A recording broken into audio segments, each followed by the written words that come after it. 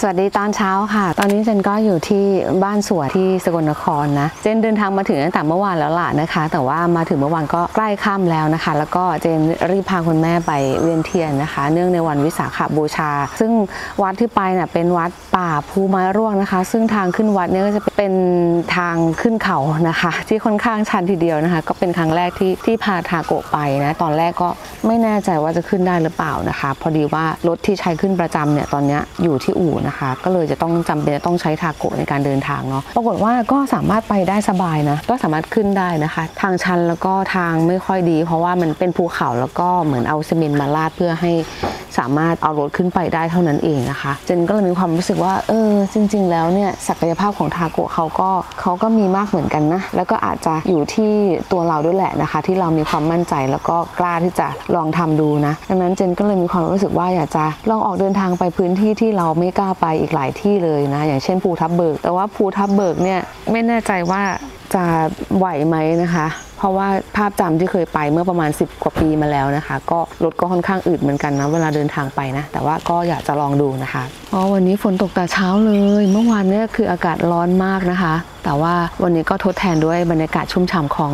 สายฝนนะตกตั้งแต่เมื่อคืนแล้วแหละนะคะ แล้วก็ฟ้าร้องเสียงดังมาก บางคนอาจจะรู้สึกแบบว่าเวลาฝนตกเรารู้สึกเศร้าส้อยนะรู้สึกเหงาอะไรเงี้ยนะแต่ว่าสำหรับเจนเจนรู้สึกว่ามันสดชื่นชุ่มฉ่ำแล้วก็เป็นเป็นสัญลักษณ์ของการเริ่มต้นนะเออไม่ว่าจะเป็นการปลูกพืชพันธุ์อะไรต่างๆ ข้าวในนาก็เริ่มเขียว ต้นไม้ก็เริ่มเขียวขจีจะรู้สึกสดชื่นนะจำได้ตอนที่เป็นเด็กๆนะคะเวลาฝนตกประมาณตกสะสมประมาณ3-4วันเนี่ยห็ดเขาจะเริ่มขึ้นแล้วคือแบบเป็นเห็ดที่สามารถขึ้นตามพื้นดินนะคะขึ้นตามสนามหญ้าหน้าบ้านหลังบ้านของใครหลายคนนะคะ ก็เดินเก็บแล้วมันก็เห็นบรรยากาศแบบนี้มันก็นึกถึงสมัยเด็กเหมือนกันนะ เดี๋ยววันนี้เจนอาจจะลองเดินสำรวจดูนะคะ ว่าบริเวณพื้นที่เนี่ยมีเห็ดขึ้นบ้างไหมแล้วกินได้หรือเปล่านะคะเฮ้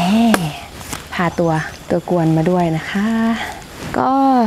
ช่วงนี้เป็นช่วงฤดูฝนนะคะ เป็นช่วงของเห็ดเพาะนะ หรือภาษากลางเขาเรียกว่าเห็ดถอบนะคะ ก็จะมีลักษณะเป็นกลมๆ แล้วก็ข้างในเนี้ยก็จะมีเหมือนเป็นลักษณะเป็นไส้นะคะ เห็ดที่อ่อนเนี่ยกำลังดีเนี่ยเขาก็จะอ่าอ่อนแล้วก็ กรอบนะคะ อร่อยนะ แต่ถ้าเกิดว่าเราเก็บเห็ดไว้นานโดยที่เรายังไม่ทำอะไรมันนะคะ หรือว่าเราเก็บตอนแก่เนี่ยข้างในเขาจะเป็นสีดำนะคะ แล้วก็ข้างนอกก็จะแข็งไม่นะไม่ไม่อร่อยนะคะ เดี๋ยววันนี้เราจะทำแกงเห็ดเพาะกันนะ จริง ๆ วันนี้เจนแพลนว่าจะไปที่แก่งตะลปัดนะ แก่งตะลปัดนี่ก็อยู่อำเภอเมืองนี่แหละนะก็ไม่ไกลนะคะประมาณ 20 กว่ากิโลนะคะจากอำเภอเมือง แต่ว่าดูจากสภาพอากาศแล้วเนี่ยนะคะดูจากบรรยากาศแล้วก็ไม่น่าจะเหมาะนะก็เดี๋ยวเดี๋ยวดูสถานการณ์ก่อนนะคะว่ากิจกรรมวันนี้จะทำอะไรบ้างนะคะ เอาเป็นว่าเดี๋ยวเจนขอตัวไปทำมื้อเช้าก่อนนะคะ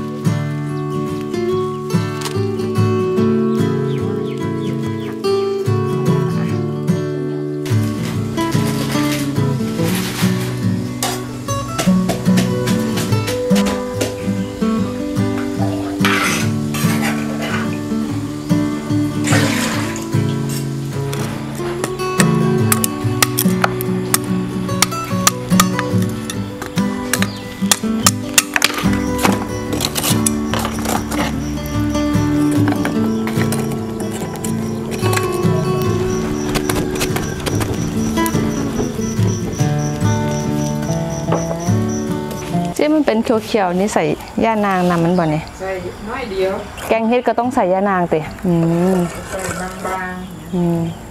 แต่ถ้าเป็นแกงหน่อไม้ต้องใส่หลาย เพราะว่าแกงหน่อไม้มันมีพิษเนาะ โอเค เดี๋ยวมาดูวัตถุดิบในการแกงเห็ดเผาะของเราในวันนี้นะคะ ก็จะมีใบแมงลักนะคะ ทุกๆ แกงของอีสานเนี่ยก็จะมีใบแมงลักเนาะอันนี้ใบชาพลูค่ะอ่าอันนี้เป็นพริกลูกโดดนะคะ เก็บจากในสวนนะคะ อันนี้ก็เหมือนกันอันนี้เป็นภาษาอีสานเรียกว่าผักติ้วน้ำจะให้รสชาติเปรี้ยวนะคะ ช่วยเพิ่มความเปรี้ยวให้กับแกงนะกินสดก็ได้กินกับลาบนะคะ อร่อย แล้วก็นางเอกของเราในวันนี้นะคะ ก็คือเห็ดเผาะนั่นเองนะคะกำลังอ่อนๆเลยเห็นไหมคะ ข้างในเป็นสีขาว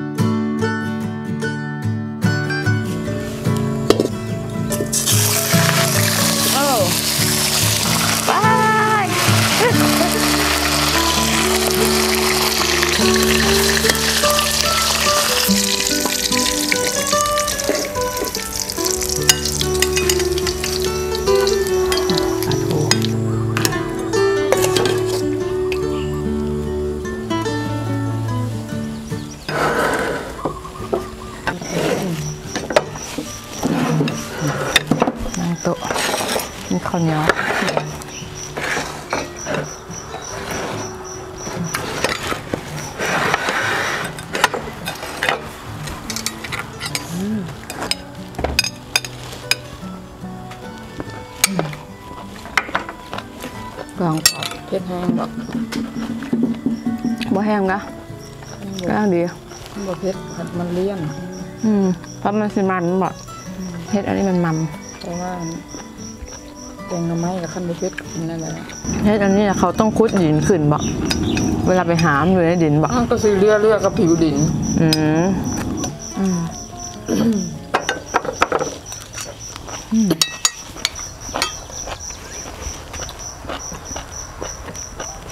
เดี๋ยวตอนนี้เจนกำลังจะเดินสำรวจพื้นที่รอบๆนะคะว่ามีเห็ดเกิดหรือเปล่านะคะ มีเห็ดขึ้นไหม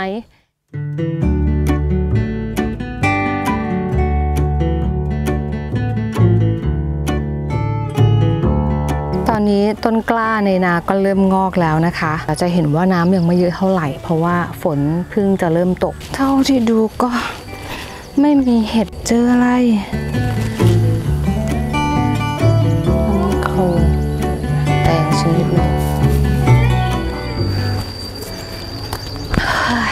ท่าที่เดินสำรวจมาก็ไม่มีนะคะ สงสัยอาจจะต้องรออีกสักพักหนึ่งเพราะว่าช่วงที่เขาเห็ดงอกใหม่ๆอะแม่ก็ไปเก็บมาทำหมกเห็ดแดดเริ่มออกแล้ว แต่ว่าก็ยังมีหมู่มวลเมฆอยู่นะ น่าจะมีอีกระลอกอยู่ค่ะ พอแดดออกแล้วก็อากาศร้อนอบอ้าวนะ ชอบบรรยากาศชุ่มฉ่ำของฤดูฝนจังเลยเดี๋ยวดูสถานการณ์ก่อนนะคะ ว่าเจนจะสามารถที่จะไป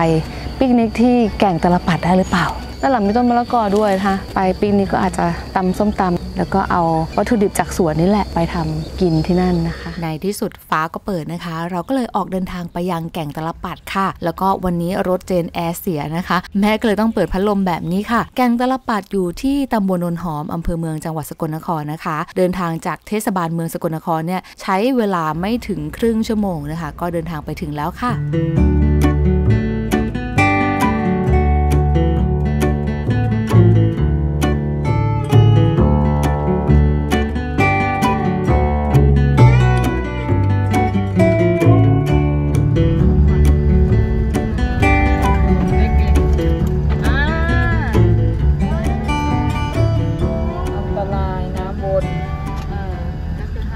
การไปที่แก่งตะลปัดจำเป็นจะต้องจอดรถในพื้นที่ของชาวบ้าน โดยมีค่าบริการจอดรถ รถยนต์ 40 บาท มอเตอร์ไซค์ 10 บาท ที่นี่ไม่มีร้านค้าให้บริการค่ะ ดังนั้นจะต้องเตรียมอาหารเตรียมเครื่องดื่มมาให้พร้อมนะคะ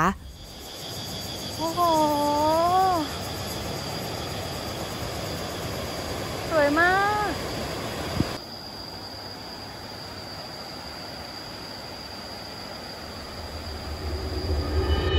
ก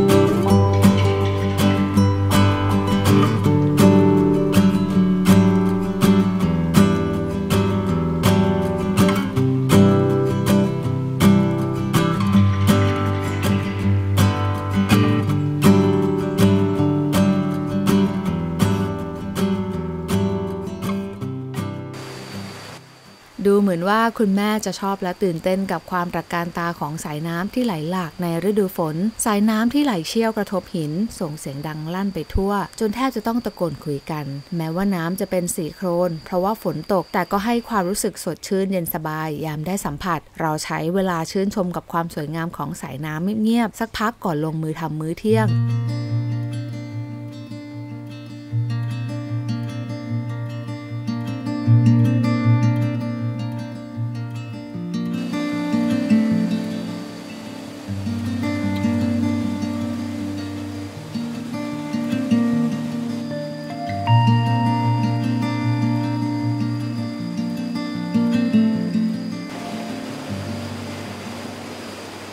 ขณะที่เรากำลังทำกับข้าว อยู่ๆก็มีเสียงฟ้าร้องดังขึ้น พอมองขึ้นไปบนท้องฟ้า ก็เห็นเมฆดำกำลังก่อตัว ลมเริ่มพัดแรงขึ้น เป็นสัญญาณว่าอีกไม่ช้า ฝนคงจะตกลงมา ตอนนี้เราย้ายขึ้นมาอยู่ข้างบนนะคะอยู่ในศาลานะคะ เพราะว่าฟ้าร้องดังมากนะคะฟ้าร้องคือคือร้องไม่ได้สักพักแล้วนะ ก็รอดูอยู่ค่ะว่าฝนจะตกไหมนะคะ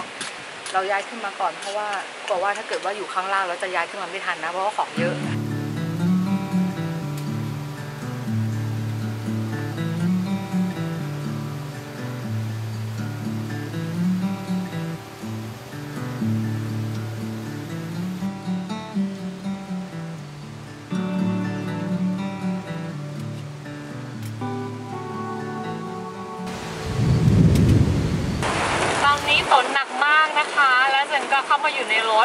ชวนคุณแม่เข้ามาแล้วนะคะ แต่ว่าแม่ไม่ยอมเข้ามานะคะแม่ยังหลบฝนในศาลานะคะแล้วก็ใช้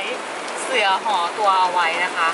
ตอนนี้ก็เรียกได้ว่าค่อนข้างผิดแผนนะ เพราะว่าตั้งใจที่จะมาแบบว่าเอ่อนั่งชิลบรรยากาศริมลำธารริมแก่งน้ำนะคะทำกับข้าวกินอาหารอร่อย แล้วก็เอาเท้าแช่น้ำเย็นๆอะไรอย่างเงี้ยนะคะ แต่ปรากฏว่าฝนตก ก็เป็นความสนุกอีกรูปแบบหนึ่งนะคะ ก็แต่ค่อนข้างทุลักทุเลเหมือนกันเพราะว่าต้องขนของขึ้นมาไว้ข้างบนนะคะ แล้วก็เดี๋ยวดูก่อนว่าถ้าเกิดว่าฝนตกแล้วยังมีเวลานี่ก็อาจจะลงไปนั่งชิลที่บรรยากาศที่ริมทานอีกรอบนะคะ แต่ว่าถ้าเกิดว่ามันค่ำเกินไปอะก็คงจะต้องเก็บของกลับบ้านนะคะ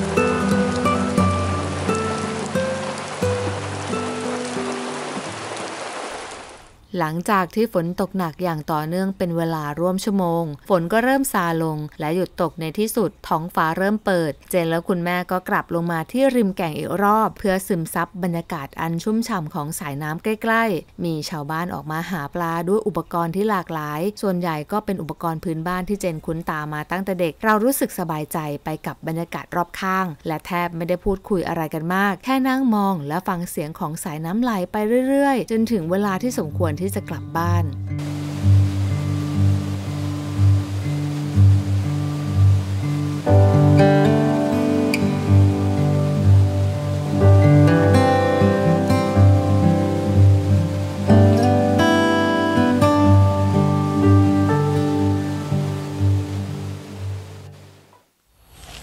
นคิดว่าแต่ละคนมีรูปแบบของความสุขเป็นของตัวเอง และเราไม่ควรที่จะเอาความสุขของเราไปเทียบกับใคร เพราะไม่เช่นนั้น เราคงจะคอยวิ่งตามและไขว่คว้า ในสิ่งที่เราคิดว่าขาด จนลืมมองเห็นคุณค่าในสิ่งที่เรามี เหมือนกับเจนที่เพิ่งรู้ว่าไม่ไกลจากบ้าน มีแก่งน้ำที่สวยงามเงียบสงบ ซ่อนตัวอยู่ท่ามกลางไร่นาของชาวบ้านแทบไม่น่าเชื่อว่าเส้นทางไปไร่นาธรรมดาธรรมดาจะพาเจนให้ไปเห็นแก่งน้ำที่สวยงามได้ และเจนยังมีบ้านสวนท่ามกลางท้องทุ่งที่น่าารักบรรยากาศบ้านๆแต่อบอุ่นและได้รับพลังกลับไปเสมอ แต่เจนยังคงรักและรอคอยโอกาสในการเดินทางไกลค่ะ หวังว่าจะได้เดินทางในอีกไม่ช้า ขอบคุณสำหรับการติดตามรับชมค่ะ แล้วเจอกันใหม่ทริปหน้า Camping on Wheels แคมป์ติดล้อ